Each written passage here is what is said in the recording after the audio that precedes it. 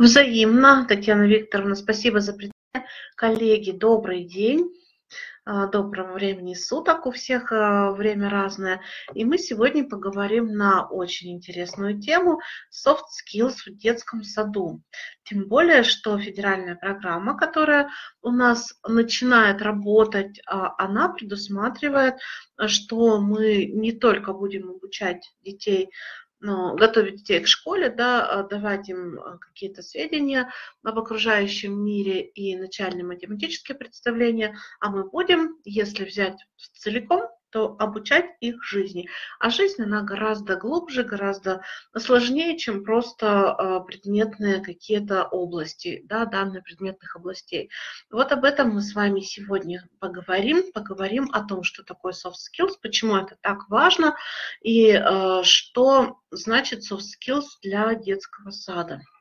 А, давайте представлюсь. Меня зовут Мария Токмянина, психолог, а, практикующий психолог из Екатеринбурга и старший тренер и методист э, Международной школы лидерства для детей и молодежи Джей Лидер в Екатеринбурге, а, спикер э, платформы а, педагоги России, ну и работаю также с разными организациями, а, читаю вот такие вот образовательные вебинары или веду образовательные курсы.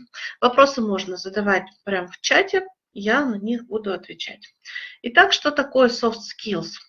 Мягкие навыки в переводе с английского. Ну и все навыки людей э, принято делить на жесткие и мягкие. Жесткие навыки – это то, что дает нам возможность работать в определенной профессии. Это знания, умения и навыки, связанные с определенной профессией. А вот soft skills – это умения, которые напрямую не связаны с профессиональными компетенциями. Это как бы надпрофессиональные навыки, на которые помогают решать жизненные задачи и работать, взаимодействовать с другими людьми. Почему это важно э, привить ребенку надпрофессиональные навыки? Дело в том, что наши детки, которые ходят сейчас в детский сад, в течение своей жизни будут учиться и переучиваться много раз. И, скорее всего, большая часть этих детей будет работать по разным профессиям, даже в разных э, областях э, человеческой деятельности, а, но им всем нужно будет уметь делать определенные вещи. Общаться с другими людьми, общаться с самим собой, а, создавать внутри себя некую четкую структуру, на которую всегда можно будет опираться. А, решать конфликты, например, понимать, какие эмоции испытывает сам человек, какие эмоции испытывают другие люди. Искать, добывать и использовать по назначению информацию. Собственно говоря, soft skills – это навыки человека нового века, человека, который будет жить в условиях неопределенности, в условиях создания новой эры и новой эпохи, которая еще сейчас вот-вот с таким трудом, э, иногда даже с такой болью формируется прямо на наших глазах. А, soft skills – это очень широкое понятие. А, для взрослых и для детей есть свои определенные наборы soft skills. Что же касается детей дошкольного возраста, то опираясь на их возрастные особенности, мы можем говорить о том, что soft skills для дошкольников – это вот такие вот навыки. А, я специально не поставила цифры, потому что здесь нету а, каких-то первостепенных навыков и нету второстепенных, все они невероятно важны, и это умение коммуницировать, которое сейчас ставится на, а, ну, на одно из первых мест по тому, что нужно знать человеку. Это умение работать с информацией, это эмоциональная компетентность, это креативность, то есть умение создавать новое, и это волевые качества личности, которые позволяют человеку вот все эти навыки э, собрать воедино и этими навыками пользоваться. И если не будет волевых качеств развитых у человека, тогда все остальное просто не имеет значения. Вот такие вот навыки. И давайте мы с вами сегодня пройдемся по всем этим пяти областям soft skills и посмотрим, как мы можем об этом говорить с детьми, что мы можем им предлагать. А, у меня здесь в презентации достаточно много материала, я, конечно, отдаю себе отчет, что все я не успею. Здесь много игр, много упражнений, поэтому какие-то вещи я буду вам а, просто пролистывать, да, но вы будете знать, что презентация у вас окажется. То есть те, кто здесь находится в чате, они могут спокойно скачать презентацию и воспользоваться всей той информацией, которая есть на презентации. Ну что же, давайте начнем. Начнем с первого работа с информацией. Работа с информацией. Что это такое? Информация вокруг нас э, находится везде, везде, везде, да, и у нас в 21 веке информация – это такой капитал человека. То есть э, если раньше, в 19-20 веке нужно было владеть финансами, либо можно было владеть средствами какими-то э, производства, то сейчас человек, который владеет информацией, он владеет владеет миром. Поэтому э, очень важно детей обучать самостоятельно работать с информацией. Причем работать с информацией в разных видах. Вот вы видите здесь картинки, и это все источники информации. Поэтому э, нельзя ограничиваться только букварем, например, а, или какими-то плакатами, мы должны всегда думать, а какие еще источники информации мы можем малышам предоставить. И кроме того, мы детей обучаем а, такому процессу, как обработка информации. А, ведь чтобы воспользоваться информацией, во-первых, ее нужно где-то добыть, получить да, каким-то путем. А затем вот вся информация, которая приходит с человеком, она как через сито процеживается через а, его культурный контекст. То есть человек, воспринимая информацию, уже ее оценивает как правильную, неправильную, истинную, ложную, достойную его внимания, недостойную его внимания. И только вот процеженная через этот контекст информация, она а, приходит к тому, а, приводит к тому, что человек может ей воспользоваться. Он это понимает, да, он может это интерпретировать, сохранять эту информацию, использовать для своих рабочих процессов. Таким образом, навыки, которые мы э, должны детям привить и воспитать, это умение искать информацию, отбирать и анализировать информацию, а также представлять ее другим людям. Довольно сложно для дошколят, да, ведь? Ну, давайте посмотрим, а каким образом мы можем вот это вот все на дошколятах, на малышах совсем а, сделать вот, вот эти вот задачи. Ну, прежде всего, давайте посмотрим, а, у детей дошкольного возраста, даже если они еще не читают или читают с трудом, в 21 веке достаточно много источников информации. Но и дети дошкольного возраста, они как раз открыты для информации. Это тот возраст, когда дети впитывают все как губка. Наша задача только предоставить. Прежде всего, это, конечно, устный путь передачи информации, это беседы со взрослыми, и с родителями, и с воспитателями с педагогами. И здесь очень важно, чтобы э, взрослые тоже шли навстречу, и беседы были содержательными. А, еще один источник – это наблюдение и умозаключение своего ребенка. Ведь дети достаточно наблюдательны, но при этом они, не владея всеми данными, а, не зная про правила этого мира, могут давать какие-то ложные умозаключения да, а, основываясь на каких-то внешних признаках. И вот здесь нам, взрослым, тоже нужно держать ушки на макушке и, может быть, лишний раз не а, посмеяться над ребенком, не похихикать, а рассказать ему, почему не так. Ну, пример ложного заключения, такой анекдотический, например, э, мальчик узнал, что детки выращиваются в животе, вот мама ему рассказала об этом, да, и он такой на улице видит очень толстого дяденьку, дяденьку с большим животом, и кричит на всю улицу, мама, мама, смотри, дяденьки в животе ребеночек сидит.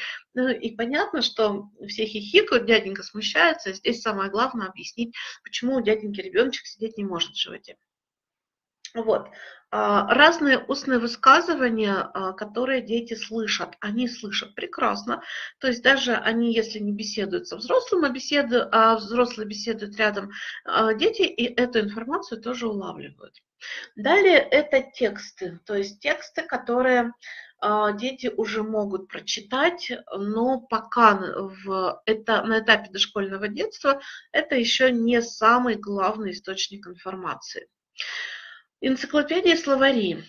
Э, вот здесь энциклопедии словари – это очень хороший источник информации, потому что детские энциклопедии, они, как правило, красочные, и там не очень много текста, зато очень много картинок, каких-то схем, э, мультяшек, и это тоже источник информации. Интересный источник информации – разные карты и путеводители, которые дают представление о мире вокруг нас. Афиши, объявления, сеть интернета, также специальные обучающие программы – это все, чем вы можете воспользоваться для того, чтобы научить детей получать информацию. Ну и э, мы не забываем, что обработка информации – это несколько этапов. Во-первых, это поиск данных, сбор данных, обработка, использование и хранение, то есть умение эту информацию каким-то образом копить и сохранять для будущих э, периодов. Ну и Каким образом дети могут поработать с информацией? Во-первых, это общение, наблюдение, опыты, а, умение задавать вопросы, ну и, как я уже сказала, использование разных других ресурсов. А, особенности, особенности передачи информации, особенности обучения владением информацией. Мы всегда учитываем возраст, уровень мышления. Мы понимаем, что большую часть информации нужно передать в наглядном виде, а лучше, если это можно еще и потрогать и пощупать.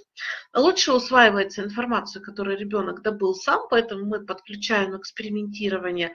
А, ну и, конечно же, конечно же, любая работа с информацией, она должна быть в виде игры. Что мы можем использовать в детском саду и что у нас а, поощряется новой образовательной программой? Исследовательская деятельность. А, дети сами по себе очень хорошие исследователи, и вот поисковый, а, поисковое поведение у детей, оно очень сильно развито, если вы, конечно, не убили взрослые. Да? Что мы можем детям предоставить для исследований. Это разнообразные опыты, экспериментирования со всеми безопасными веществами, которые есть у нас в доступе. Это воздух, вода, песок, а, почва, минералы, растения и животные, которых дети могут наблюдать.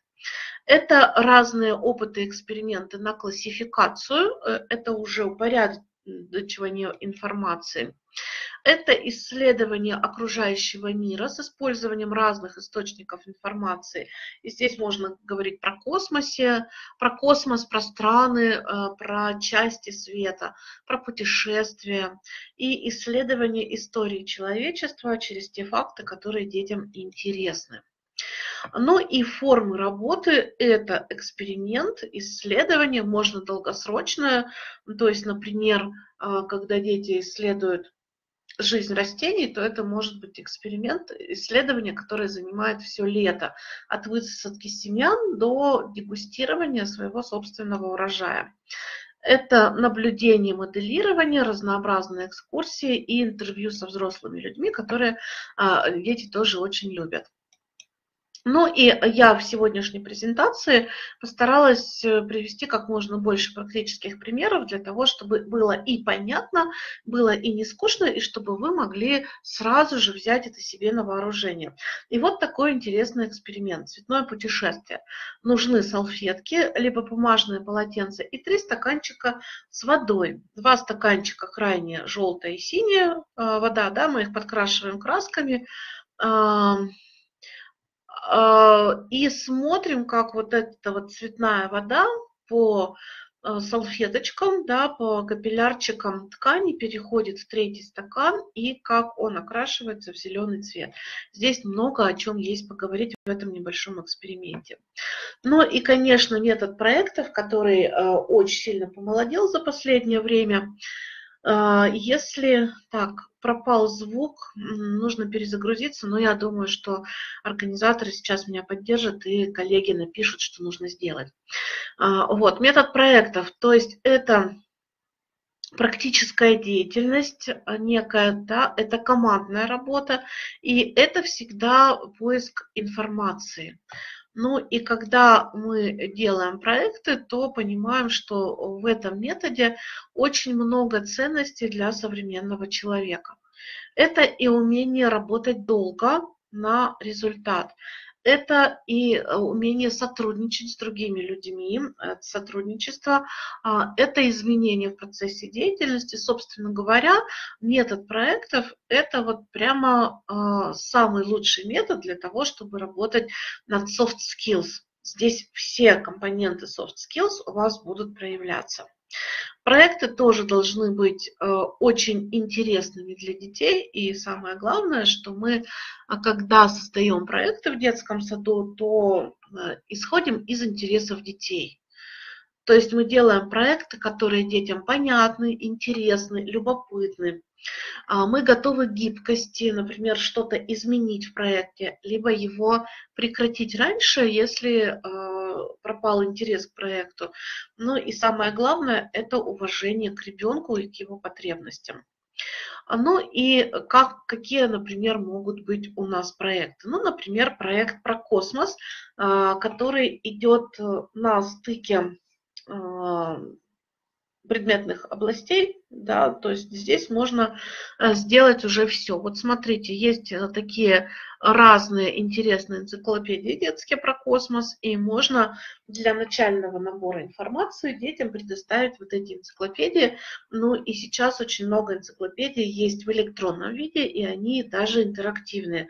То есть, например, нажимая на значок планеты, ну, в такой энциклопедии интерактивной, можно выйти на видео, где показана вся эта планета во всей красе. Вот дети собрали информацию, кроме того, мы можем им предоставить еще и вот такие интересные вещи, а, и я точно знаю, что коллеги используют такие вещи а, очень спокойно, закупая их для детского сада и не стесняясь того, что это довольно сложно. Да? То есть здесь можно познакомить детей еще и с картами звездного неба, например, но и предоставить для а, исследования еще и вот такие приборы, которые есть в открытом доступе. Они доступны, их можно заказать э, в, ну, в любом магазине, на любой торговой базе. Такие, например, как модель Солнечной системы, где все планетки вращаются вокруг Солнца, само Солнце подсвечивается лампочкой, дает тени, очень все здорово. Теллурий, который позволяет показать детям, как Земля движется вокруг Солнца, а Луна вокруг Земли. То есть это вот модель нашего ближайшего сегмента Солнечной системы. Ну и, конечно, глобус, обычный глобус, глобус звездного неба. То есть здесь есть что посмотреть, есть что потрогать руками, покрутить, поахать, посмотреть, как падает свет. Это все наглядно и подробно. Детям очень интересно. После этого мы можем подключить конструирование и, например, посоздавать разные модели ракет. Я специально здесь показала разные, а, на разный возраст. То есть, например, слева это вариант, который подойдет для малышей, а вариант справа внизу это то, что могут сделать, например, дети подготовительной группы, уже приложив некое усилие. А, дальше мы можем подключить сюда еще и область, например, физической культуры и сделать зарядку космонавтов и потренировать, как а, люди будут чувствовать себя в невесомости. Да, как нужно координировать своим телом в невесомости. Получается вот такой очень интересный проект для детей, в котором они, конечно же, будут с большим удовольствием участвовать и получать для себя новую информацию. Ну и здесь же мы, э, не дожидаясь школы, начинаем использовать разные приемы работы с информацией. Ну, например, э, занятия по типу «знаю, хочу узнать и узнал». Объявляется тема занятия, ну, например, пусть это будет осень э, в лесу, да, как раз у нас сейчас осень, и дети говорят, что знают по этой теме. За каждый ответ того, что они знают, они получают жетоны красного цвета. А, затем они говорят, что хотели бы узнать по этой теме, а, а потом вместе с педагогом находят ответ на вопрос. Таким образом, взрослый человек приучает детей к тому, что а, нужно самостоятельно добывать информацию. И это тоже очень и очень важно. Вот, это область работы с информацией, ну и мы с вами движемся дальше. А, если есть вопросы по работе с информацией, то задавайте. Ну и, пожалуйста, проголосуем, насколько это было полезно для вас, насколько нужна эта информация. Если да, то ставьте, пожалуйста, знак огонечек. А мы двигаемся в другую область, еще одну важнейшую область soft skills, на которую обращается немало внимания. Это область коммуникаций. И наконец-то, наконец-то наступает тот момент, когда э, мы будем обучать коммуникации на высоком профессиональном уровне. Потому что эта проблема большая. Я работаю в тренинговом центре, и у нас часто приходят дети не только дошкольники, не только начальная школа, но еще и дети 11, 12 даже 16 лет, которые не умеют общаться совсем да, им сложно общаться, у них проблемы с коммуникацией. А, что мешает общаться детям? Детям чаще всего страшно, то есть им страшно подойти, познакомиться, им страшно выступать, им страшно подходить к какой-то компании или входить в какую-то игру, и, конечно, им очень страшно общаться с нами, педагогами. Потому что, ну, взрослые это какие-то такие люди ужасно страшные, которые могут отругать, не понять и так далее.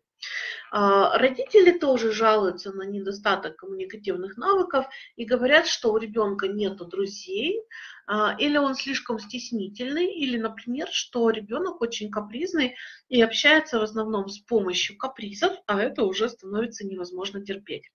Ну и еще, э, что ребенок э, слишком легко поддается влиянию не отстаивает свою точку зрения. Это вот то, что говорят родители. Педагоги а, отмечают, что современные детки привыкли работать сами по себе и жить сами по себе, поэтому они не умеют сотрудничество, сотрудничать, они не умеют просить о помощи, и даже некоторые не представляют, что можно попросить о помощи, и э, плохо владеют своими эмоциями.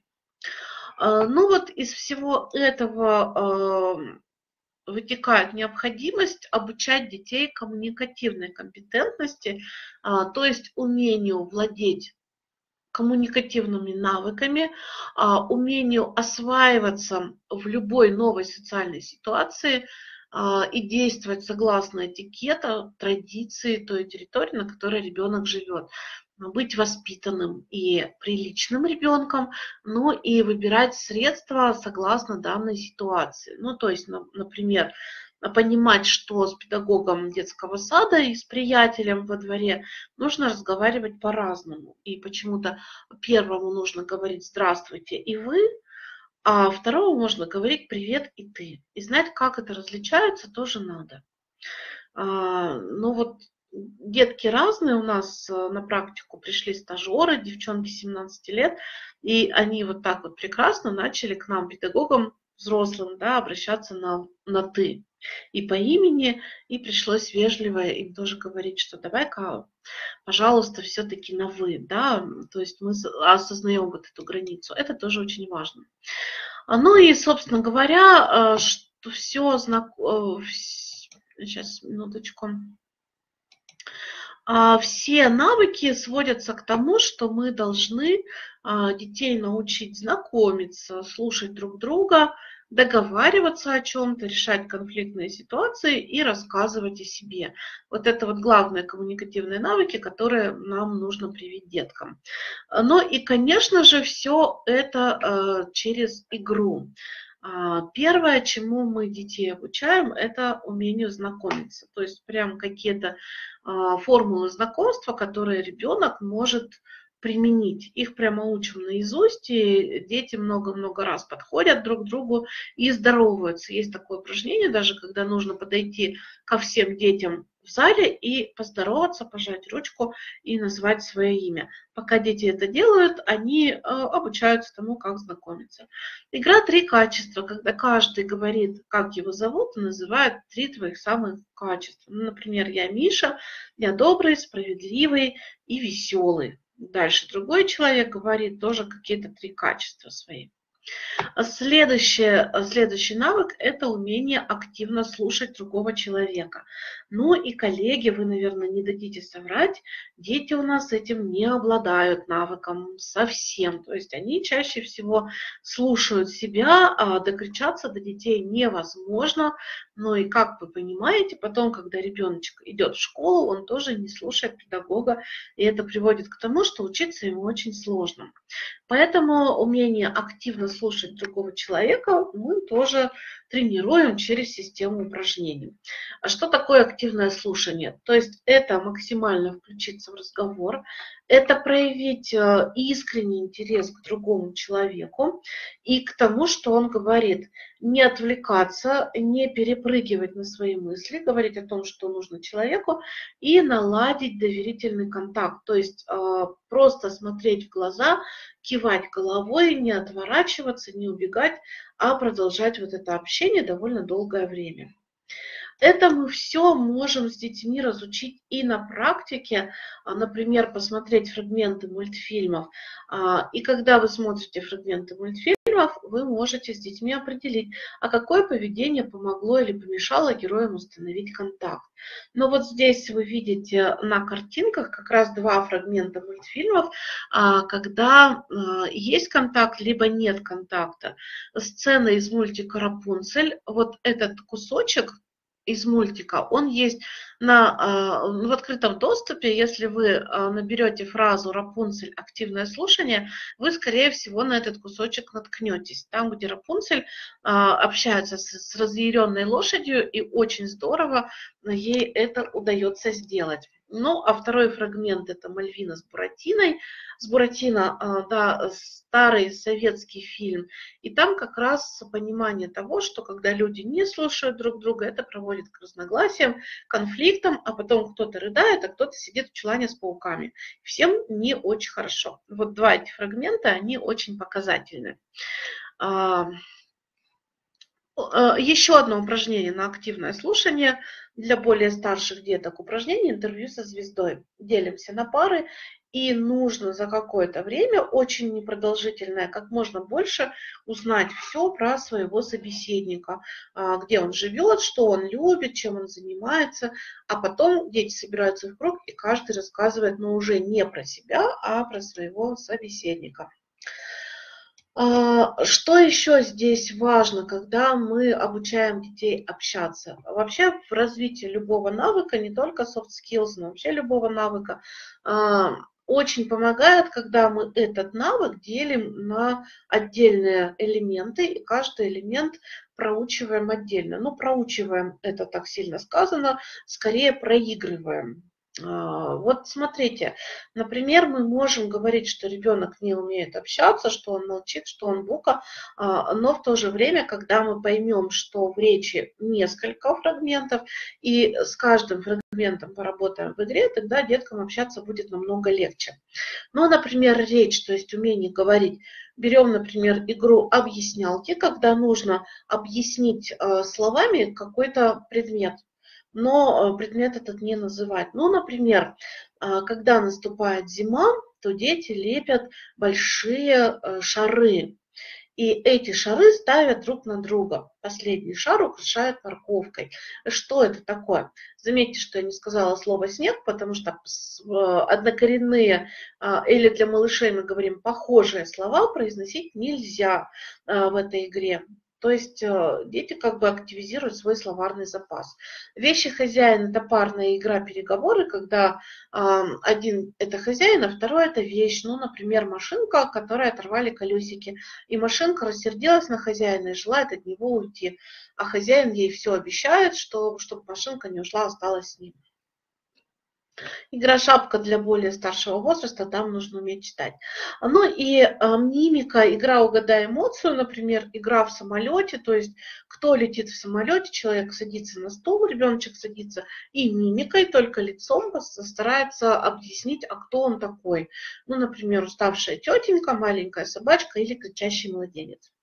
Но и какие-то игры на жесты, там, где а, ребенок должен без слов а, жестами объяснить, чего он хочет. Ну, знаменитая игра «Крокодил», которую все знают, игра «Командный слон», и тоже вот все игры, а, которые я здесь называю, они есть в сети интернет открыто, поэтому если что-то понравилось, захотелось, то смотрите, они есть. Следующий навык – это навык переговоров, и мы здесь детям говорим, что в переговоры можно заходить с разными а, стратегиями мы можем бороться с другим человеком, мы можем с ним играть, во-первых, да, можем с ним как-то договариваться и объединять свои усилия. И э, говорим о том, что всегда важно помнить, что в этих конкретных переговорах важно получить выигрыш, либо достичь какую-то конкретную цель. И это не одно и то же, я здесь не ошиблась, потому что иногда можно выиграть споры, переговоры, но остаться вообще без ресурсов. Ну и зачем тогда такая победа? А можно, например, э, договориться, что выиграли все, и при этом объединить силы какую-то конкретную цель все-таки получить. Цель, которую нужно было получить.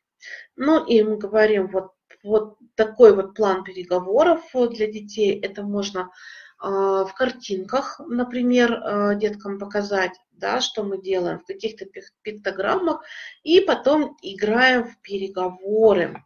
Много разных кейсов есть для детей и для взрослых. Кейс – это какая-то переговорная ситуация, когда мы детей делим на две команды, и им нужно договориться. Но вот кейс про апельсины, например, в детском варианте, он выглядит так. Есть два ресторанчика или кафе, и одному ресторанчику э, нужно сделать апельсиновые кексы, в которые идет цедра апельсинов, а другому ресторанчику нужно сделать свежевыжатый сок тоже из апельсинов. Апельсинов мало. Вот можете, пока я рассказываю, э, в чате накидать свои решения, а что с этими апельсинами делать. То есть здесь нужно договориться, кому достанутся апельсины. Причем пополам их разделить нельзя, потому что не хватит ни на кексики, ни на сок. Таким образом проиграют все. А как сделать, чтобы выиграли все? Вот давайте ваши варианты. Да, еще раз, один ресторанчик делает кексики из цедры апельсинов, второй свежевыжатый сок, и им нужны все апельсины, которые есть в наличии. Они их делят. Попробуйте свой э, вариант решения этой задачки написать в чате. А, ну и другие разнообразные кейсы игр, которые тоже есть в открытом доступе. Волк, коза и козлята, Леопольд, продавец яблок, волшебная палочка. Ну вот волк, коза и козлята, интересная игра, которая детям нравится. Делим всех на две команды. Одна команда это козлятки, а во второй команде у нас смешаны. Там есть козы и есть волки. Но если козы, они за козлят, то волки, они врунишки, и они будут притворяться козами, чтобы пройти к козлятам. И вот здесь задача козлят козу пропустить, а волка не пропустить. Если волка пропускают, то он съедает козленочком. Если козу не пропускают козляткам, то кто-то из козляток умирает от голода. Вот такая вот игра. А, ну и здесь важно и поговорить друг с другом, и э, включить свою интуицию, чтобы делить правду от лжи и смотреть на невербальные сигналы. Например, кто-то говорил, я коза-коза, опустите меня сюда, а потом как хихикнул, и все говорят, о, нет, это волк, волк, мы тебя не пустим. Вот такие вот игры. Леопольд э, примерно такой же продавец яблок, а, один ребенок продавец яблоки, он решает, кому продать яблоки. Но продает не тому, кто больше денег даст, а тому, например, кто а, вежливо его об этом попросил или произнес комплимент. Ну, здесь разные задания можно давать. Что-то не вижу вариантов про апельсины. Уважаемые педагоги, напишите, пожалуйста, интересно же будет.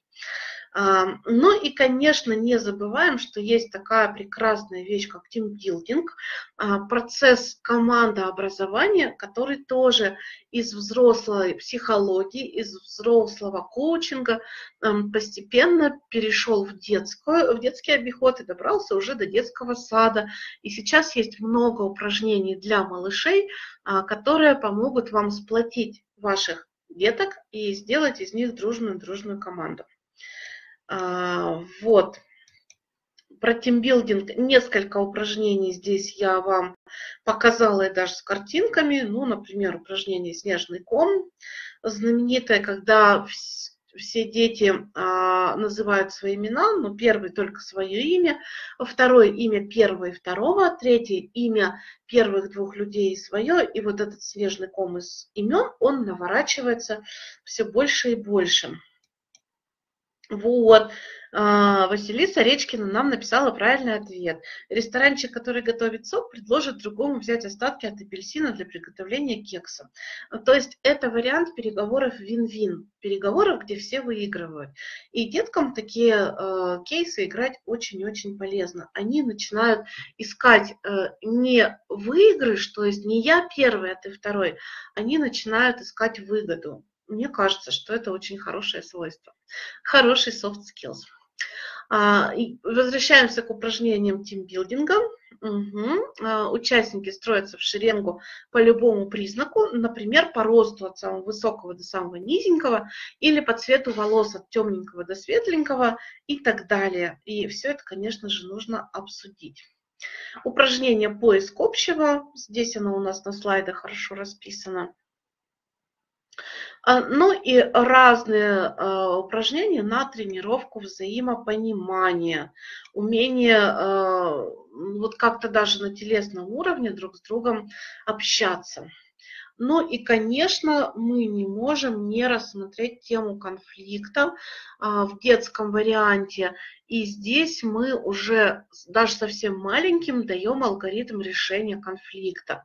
А, то есть мы всех усаживаем спокойно в кружочек, если кто-то подрался или покричал друг на друга, и говорим, давайте расскажите, что случилось, кто участвовал, а, кто начал конфликт, почему начал конфликт, а, где у вас точка пересечения интересов, какие возможные решения могут быть, и так несколько раз. Ну и, допустим, а, по выездным программам, по годовым программам я вижу, что дети а, через какое-то определенное количество повторений этого упражнения а, начинают сами вот усаживаться в круг, то есть кто-то поконфликтовал, и все собираются и начинают этот конфликт модерировать. Это очень интересно наблюдать, и это очень приятно наблюдать.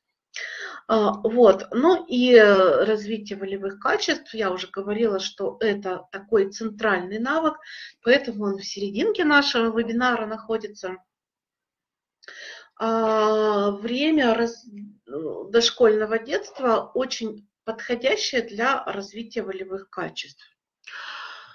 А, потом будет немножко сложнее, и затем вот в такое второе окно для развития волевых качеств откроется уже в позднем подростковом возрасте, когда дети уже пройдут все прелести неповиновения, непослушания, экспериментов со своим телом и одеждой, и а, потом у них возникнет вот такая вот природная возможность, биологическая возможность обучать себя волевым качествам. А пока у нас дошкольники, мы можем начать этот процесс, тогда и в младшей школе ребенку будет учиться гораздо легче, ну и подростковый период пройдет без каких-то э, сильных таких бунтов.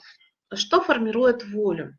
Вообще воля э, – это такой компонент нашей психики, который без участия других людей не формируется. Э, по анатомии это лобные доли коры головного мозга. И когда человек рождается, маленький ребеночек, у него э, вот эта часть головного мозга э, просто как белый лист бумаги, и мы туда можем записать все, что мы хотим. То есть мы, взрослые, помогаем ребеночку формировать волю. Через что? Прежде всего, это э, мягкий, но точный режим. Режим который мы реализуем не через запрет, а через разные ритуалы и традиции. Это важно, это очень важно. А, что такое запреты и ритуалы? Ну, например, в семье можно ввести запрет, что ребенок после 10 часов вечера не должен находиться нигде, кроме кровати. То есть 10 часов вечера ты отправляешься в кровать. И начинается, а я не хочу, а я еще не наигрался, вы жестокие, вы сидите у телевизора, его смотрите, а меня загоняете в кровать. И так каждый день, и потом уже либо начинаются конфликты, либо родители сдаются и говорят, «А, ну, сиди сколько хочешь, пока сам не уснешь, и возбужденный ребенок может сидеть до 12, до часу ночи, утром вы его получаете полусонного, и ничего-то он сделать не может. А может быть другой вариант. Например, в семье заведено, что в 9 вечера а, приходит время молока с печеньем и маминой сказки. А еще, допустим, после молока с печеньем есть ритуал э, песенки э, и чистка, чистки зубов. Есть даже сейчас специальные зубные щетки, которые проигрывают песенку ровно 3 минуты. Я такие точно видела детские и видела подростковые а, зубные щетки. А, вот недавно совсем видела, поумилялась, повосхищалась. А, то есть это щетки, которые транслируют музыку. И человек включает музыку, и пока звучит музыкальная композиция, он чистит зубы. Очень удобно, и не нужно висеть над душой ребенка с какими-то часами или секундомером. Вот, то есть есть, например, ритуал песенки и чистки зубов, чистые зубчики мама посидит какое-то время рядом, и потом можно оставить ночник, можно положить рядышком игрушки, и это тоже будут приятные ритуалы. Музыкальные горшки. Да, точно. Кстати, смотрите, ну, а, суть-то та же, то есть сделать какие-то вещи э, из репертуара развития воли более приятными для ребенка. Ну, почему бы нет? Сейчас объясню, почему это важно. А, что еще формирует волю? Это постановка целей и их достижения. И еще, как ни странно, волю формирует похвала, похвала и еще раз похвала. И вот почему. А, потому что достигать в своей жизни чего-либо мы можем двумя разными путями. Ну, то есть у нас же есть внешняя мотивация, когда нас либо подталкивают, стимулируя, да, а, кстати, стимул, знаете же, что такое, это палка для, для, э, для того, чтобы подгонять осла, вот, либо нам вешают морковку, да, а, и соблазняют чем-то, а, вот, но, тем не менее, когда у нас включается внутренняя мотивация, когда мы чего-то хотим, эта внутренняя мотивация подпитывается нашими гормонами. А, так называемыми нейромедиаторами. И есть вариант адреналинового сценария, когда мы делаем что-то а, в страхе, то есть есть некая угроза, включается стресс-реакция, а, и на этой стресс-реакции мы можем сделать так-то много. То есть вполне себе написать диссертацию в последнюю ночь перед защитой вообще легко, или сделать какой-то проект. И дети также хорошо напуганный ребенок может и одеться, и прибрать свою постель, и сделать все, что угодно. Но факт тот, что потом наступает истощение, и ничего не хочется. И это вариант не очень хороший, потому что организм запоминает, что когда ты достигнешь цели, ты упадешь полумертвым и будет плохо. А есть еще вариант, дофаминовый сценарий, а, когда мы работаем из азарта и предвкушения и создаем тебе, себе такую ситуацию, например, создаем ситуацию победы, что я сейчас эм, вот это сделаю, например, я сделаю доклад какой-то божественно прекрасный, я выйду на сцену, и мне все будут аплодировать, и мне будет так приятно.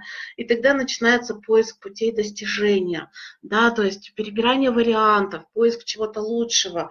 И в дофаминовом сценарии у нас сознание – это просто веер, и сознание видит все возможности. И потом, когда мы это получаем, а мы получаем вместе со сценарием ощущение блаженства. Ощущение блаженства, а, и это настолько приятно, что хочется повторить.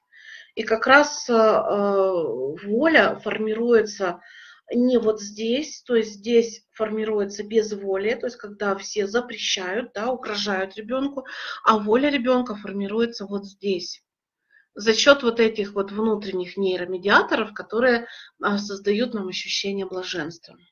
Вот, если понятно, поставьте огонечек. Что еще формирует волю? Это мягкая дисциплина, позитивная дисциплина, да, то есть когда мы мягко и, и любя ребенка, а, все равно показываем ему берега.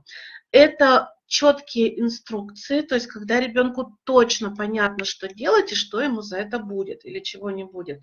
Ну и это э, вот такой вот путь, то есть сначала э, мы предлагаем ребенку достигнуть цели и ему за это даем какую-то награду.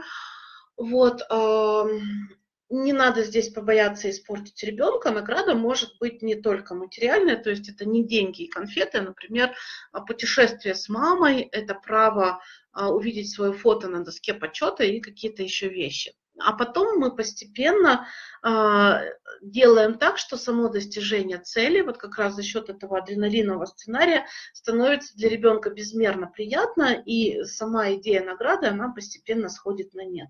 Таким образом мы воспитываем целеполагание у детей. Ну и про ритуалы я уже сказала, что лучше э, использовать какие-то приятные, понятные для детей ритуалы. Ну и кроме того, э, старших дошкольников мы уже вполне себе можем обучать планированию, и вы даже не представляете, какие чудеса может творить маркерная доска с планом дня. А, то есть там есть план дня, либо буквами, либо картинками, нужно что-то сделать поставить рядом галочку. Либо красивый, как у мамы и у папы, ежедневник, или даже детская программа-напоминалка в телефоне.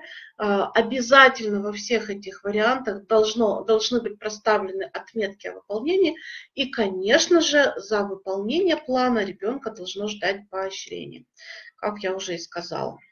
Вот, это про волю, ну и немножечко про эмоциональный интеллект. Сразу же скажу, что про эмоциональный интеллект э, в Директ Академии есть мой целый большой вебинар. Э, я думаю, что запись сохранилась. Я читала его даже не в этом сезоне, а в прошлом, но я знаю, что э, в Директ Академии все-все-все хранится, все есть в открытом доступе, поэтому вы его можете назва- э, найти и посмотреть целиком. Здесь только ну, вот некий анонс такой, да. А что такое эмоциональный интеллект, то есть когда мы умеем воспринимать, оценивать, понимать свои эмоции и чужие эмоции, и когда мы обучаемся их воспринимать и понимать, мы получаем возможность ими управлять уже не раньше. Ну и э, в, с точки зрения развития эмоционального интеллекта мы обучаем детей дошкольников вот таким вот навыкам. Умению определять и называть эмоции, которые испытывает сам ребенок, и э, считывать эмоции других людей, отделять свои эмоции от эмоций других людей. То есть если мама злится, то я не злюсь, я, например, остаюсь спокойным. И наоборот, да, а проявлять свои эмоции социально приемлемым способом, то есть если это ярость, это по делу, тогда ребенок не крушит все подряд и не бросается с кулаками, он говорит, я сейчас очень рассержен на тебя за то, что давай чего-нибудь сделаем, чтобы я получил желаемое. А, кроме того, такое важное умение самостоятельно и с помощью взрослого восстанавливать свой эмоциональный фон, то есть себя вытаскивать из сильных эмоций с помощью каких-то приемов саморегуляции. Ну, понятно, что мы должны эти приемы саморегуляции ребенку показать. И умение проживать сложные социальные эмоции, такие как вину, стыд, и выходить э, из этих ситуаций победителем. Ну и уточню еще раз, что развитие эмоциональной компетенции – это не подавление нежелательных эмоций, а умение управлять именно. То есть мы свои эмоции не подавляем, мы их слышим, мы их уважаем и э, с ними учимся общаться. Таким образом, вот у нас такие вещи нам нужны. Как это сделать? Здесь у нас очень много разных приемов, а, ну и если это эмоция, то а, чаще всего это будет какая-то яркая картинка, либо это будет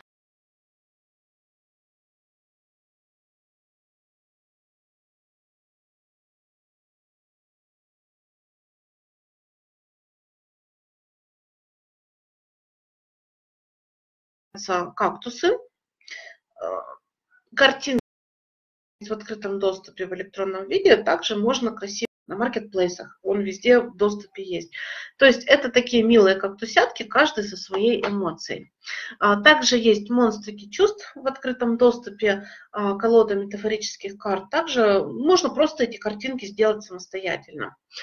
А, с любым набором картинок мы можем сделать некие упражнения. Ну, например, поназывать эмоции, поугадывать, изобразить. Назвать какую-то ситуацию, где эмоция проявляется и много-много еще.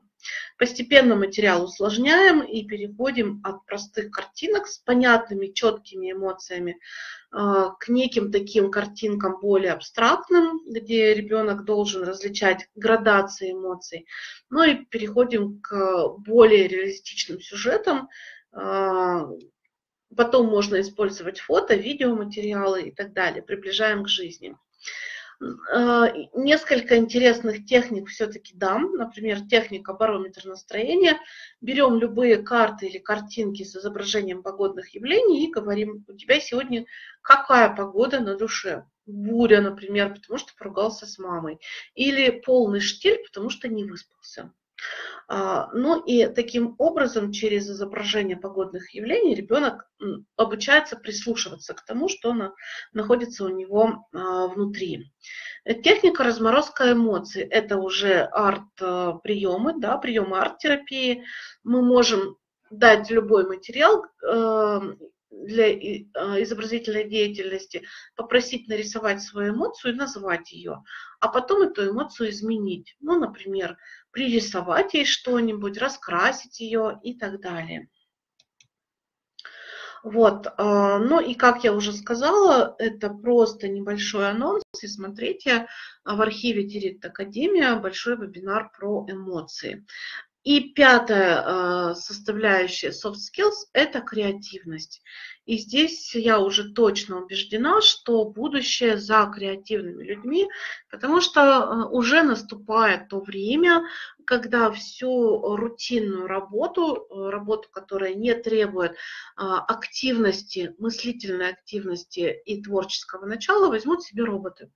Уже есть роботы-официанты, есть роботы, которые занимаются бухгалтерией, есть даже роботы, которые дают советы в медицине, но я резко против этого. Есть роботы-водители такси и много кого еще. Поэтому, чтобы процветать человеку в 21 веке, нужно быть креативным, а это значит уметь создавать то, чего еще не было на этой земле. Это как раз то, на что машины не способны и а, вряд ли в ближайшем будущем будут способны. А, то есть а, креативный человек, он будет выигрывать да, в окружающем мире. Почему? Потому что он очень быстро адаптируется. Что-то случилось в его жизни, он раз и изобрел что-то еще. Да? А, он может адаптироваться к новому, у него есть механизмы для адаптации. Он может легко профессию поменять. Так, звук, давайте проверим звук. А, кому меня слышно, слева от чата огонечек, нажмите на него, пожалуйста, не в самом чате, а слева. Угу, значит, это э, какой-то частный случай. Все, спасибо большое, спасибо большое, достаточно. Вот, продолжаю. А, то есть креативный человек легко обучается новым навыкам, ну и, конечно, раз он знает, что он легко переучивается и может добыть все, что угодно, он меньше тревожится. И это хорошо. А что э, способствует креативности? Во-первых, э, ребенку нужно создать широкий доступ к разной информации перекликается с информационной частью, да, а, нужно создать такую обстановку, в которой он мог бы посоздавать что-то новое. И это должна быть достаточно простая обстановка, э, как бы не техногенная такая обстановка, которая может ребенку позволить изменить себя. А, это а, поддержка любознательности, это внимание к самостоятельности и безопасная обстановка. А,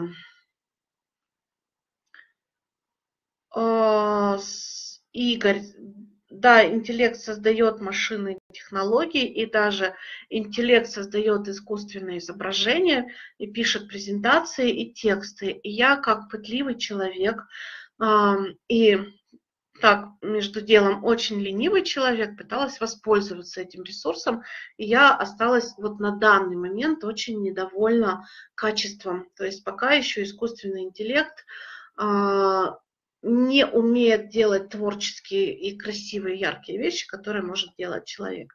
Вот. А, поэтому интеллект э, учится, но креативный человек выучится чему-нибудь еще сделает это тоже быстро. А вот. Безопасная обстановка – это значит возможность творить, и когда ребенок знает, что он не будет наказан. Что препятствует креативности? Цензура, конформизм. Торопливость, когда говорят, ну, как кто первый ответит, и дети дают э, какой-то вот а, ответ стандартный, потому что для творчества нужно какое-то время. Жесткие требования, ну и когда вокруг ребенка очень низкий уровень творческих способностей у взрослых людей. А, то есть мы даем ребенку обогащенную среду, мы предоставляем ему материалы для творчества, много разных а, в, открытом доступе, а, и мы даем ребенку возможность познакомиться с образцами творческого поведения. То есть у нас висят картины, у нас дети ходят на спектакли или смотрят спектакли, а они слушают музыку, и они видят, как взрослые тоже участвуют в творчестве. И еще важно для креативности, а, для развития креативности, это дать ребенку право на ошибку. То есть дать ребенку право повторять много-много раз, если он желает этого. Ну и сейчас просто полистаю, а вы потом с презентации можете взять интересные задания, как примеры заданий на развитие креативности. Заметьте, что их очень много. Ну вот, дорисовать, например, новая жизнь знакомых вещей. Здесь на подумать, да, что можно сделать из старых вещей. Если бы я был, например, носком, машинкой, морковкой, посочинять несуществующие животные города, правополушарное рисование, рисование на световых столах, где можно не бояться ошибиться абсолютно, потому что здесь песочек терпит все. Да? Ну и создава, создание новых сюжетов, например, в сказке про красную шапочку. А что будет, если красную шапочку будет носить мальчик? А что, если э, у девочки будет зеленая шапочка? А если бабушка будет злой ведьмой, э, волк будет спасителем красной шапочки? И развить какой-то свой новый сюжет, и дети обожают это делать. Вот такой вот, смотрите, одинаковые шаблоны «Сделай добрую и злую волшебницу». На что похожи эти рисунки и много-много-много всего еще. Вот, э, таким образом мы с вами проговорили все, мы говорили, проговорили про волю, про а, развитие креативности, проговорили про а, то, как ребенок может добывать информацию, про то, как ребенок может общаться с другими людьми, и вам остается теперь тоже самим быть креативными, помнить, что все эти навыки, они важны, и включать вот эти и подобные им упражнения а, в ваш педагогический репертуар. На этом я заканчиваю. Э, я открыта для контактов и оставляю свои контакты на всякий случай, но я точно не знаю, где скачать дипломы, я знаю только про soft skills. Поэтому пишите мне, пожалуйста, по сути а, моего выступления. А, все остальное, всю остальную информацию вам расскажут организаторы. На этом я с вами прощаюсь, говорю до свидания Татьяне Викторовне. Спасибо, как обычно, за теплый прием предоставленную площадку. И вам всего доброго и веселых, интересных дел и креативных детей. До свидания.